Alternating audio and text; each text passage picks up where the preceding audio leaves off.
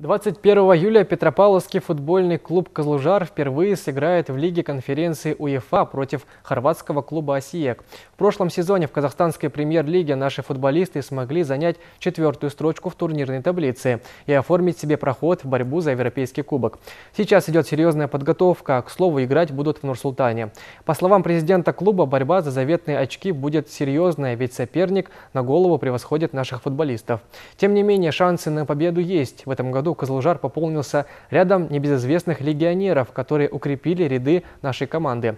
К слову, поддержка болельщиков тоже зачастую играет важную роль. Именно поэтому сейчас руководство клуба готовит несколько автобусов, которые вместе с североказахстанскими футболистами отправятся в столицу страны на захватывающий матч.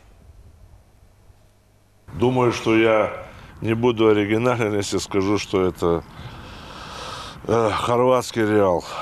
Будем так говорить. Я, вы понимаете, о чем я. Команда очень серьезная. Э, у них, в общем-то, очень серьезные футболисты, очень высокого класса.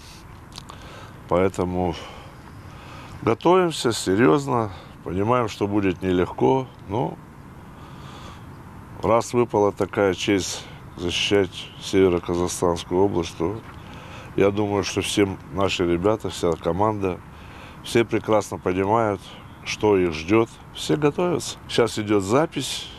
Э, какое количество болельщиков будет, столько и повезем. Так что от нас только одно. Повезти и все. Автобусы готовы. Там их встретят, разместят, как положено.